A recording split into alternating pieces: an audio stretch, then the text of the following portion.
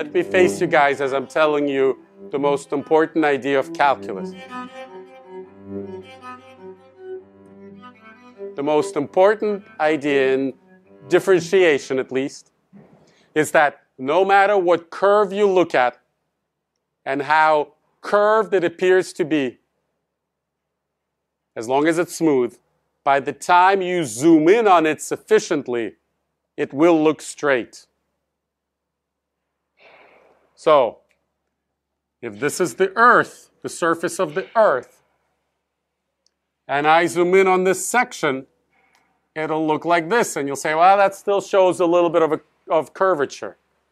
But if I zoom in on this part, it will look like this. And no matter how curved it appears to be, if I zoom in sufficiently, it will just appear straight. Now, the way we teach calculus uh, takes you away from this idea. Because in calculus, you focus, the way we teach it is you focus, well, it's never actually straight. And you know what? I should have acknowledged the slope both times because the slope, so here it's still a little curved, and here it's, you know, if you zoom in enough, it just appears straight, but it does preserve its slope no matter how much you zoom in. So you start with something like this and you say it looks like a circle. And you zoom in and you say, well, it still looks like a circle, but of a larger radius, but I still know it's a circle, right? And that's because you're looking at the wrong thing. What you should be, what your brain should be thinking is that, hey, it's pretty much straight. And now it's almost completely straight. And now I can't even tell it looks straight.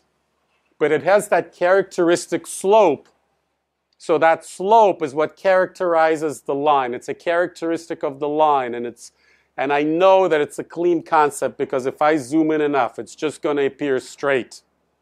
It's just going to appear straight. So you gotta wrap your mind around that. Even if you take a funky function, you know, you can think of functions that look like this and just start just crazy curvature and crazy frequency. I think a good example is something like uh, sine of 1 over x. Like something like this. Because it's sine of 1 over x, the wiggles become more and more and more frequent.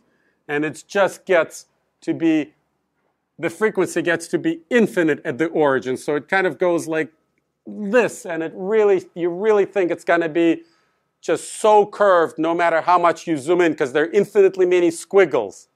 And of course, this x squared goes a long way towards straight, you know, evening it out, smoothing it out. Doesn't get rid of the wiggles, but it does smooth them out. So even if you zoom in on x equals zero, right, you will see this. It's just a fact of life that you've just got to not just wrap your mind around, but just completely embrace. Uh, all curves are straight if you look at them closely enough. The way we teach calculus is all curves are curved even if you look closely enough. It's just that sometimes you look at the earth and you think it's, that it's flat and you're stupid, right? Because it looks flat, but you should know that it's not flat. That's sort of the emotion with which we approach curved things.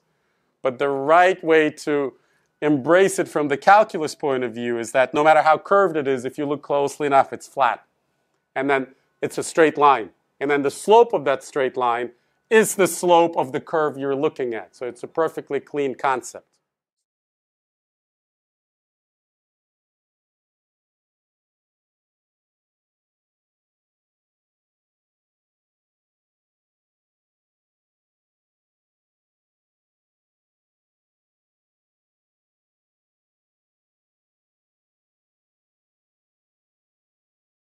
So, if we take this curve, right, and we're considering h smaller and smaller and smaller and smaller, so we keep zooming in on it, it'll be straight.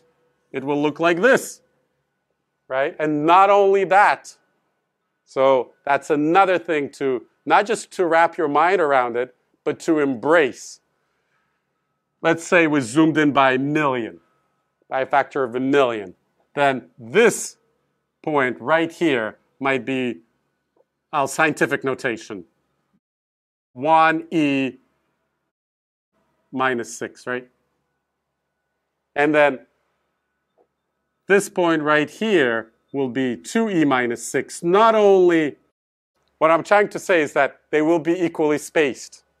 Right? No matter how crazy the parameter is, you know, you've chosen zeros here, ignore what I have here. Okay, I'll draw a new curve. You'll say, hey, here's my parameter. This is zero. This is one. But this is two. Ha! Right? I really slowed down there. And then this is 2.1. Right? And you're really screwing with yourself with this parametrization, right? It's just all over the place, totally nonlinear. Right? You were not traveling at a constant velocity. You went fast, then you slammed on your brakes, and then you really floored it. That's legit. But if you take any section of it and you zoom in on it, so totally nonlinear. But just the way things become straight, if you zoom in enough and you look at how your parameter is, it will look totally linear. And it will be linear. And this will be 2 times 10 to the minus 6. And this will be 3 times 10 to the minus 6.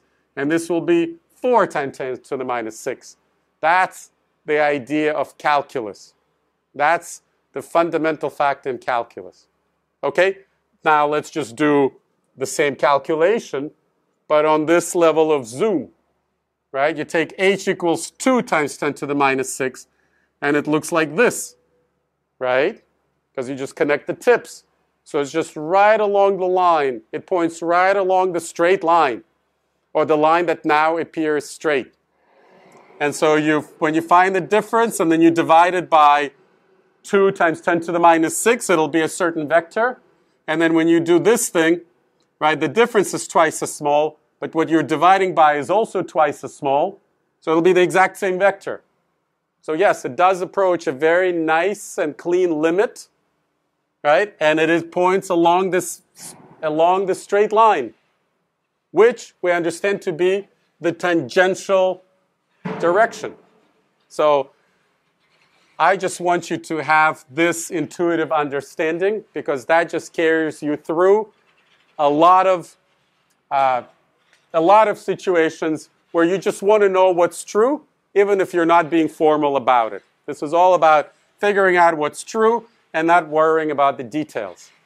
And of course, modern math, nothing wrong with that, entirely flips this approach on its head and if you say, what's the definition of the tangential direction? They will say, it's wherever this derivative points, right? This becomes the definition. And then the concept of tangent, the tangent straight line, becomes the secondary notion. And we would say that the tangential, the tangential direction is wherever this vector defined thus points which is also fine. Math is about turning things on its on their head.